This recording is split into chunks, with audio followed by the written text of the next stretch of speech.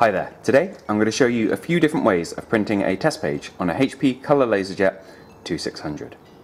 So, from the buttons on the front of the printer, we're going to go in, pressing the tick button, and then we're going to go into reports. From here, we have a demo page. So I'm just going to click this and show you what you get here. Now after a few seconds, your printer will have produced something like this. It's got a nice detailed image at the top, some text, a blue bar.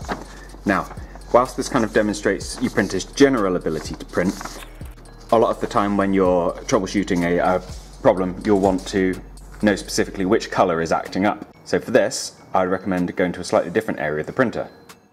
So what we'll do, we'll go in the same way, into reports, move along, and this time we're going to move along until we reach supply status.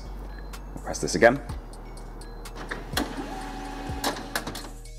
And then you'll get this page which breaks down the pure colours your printer can print. So you've got your black, your yellow, your cyan and your magenta.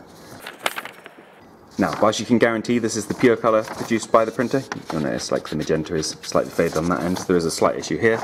These aren't particularly large blocks to work with.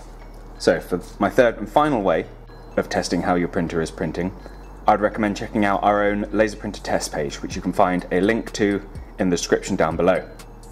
And this color laser test page uses much larger, thicker bars and should give you an even better idea of where any potential issues are occurring with your colors.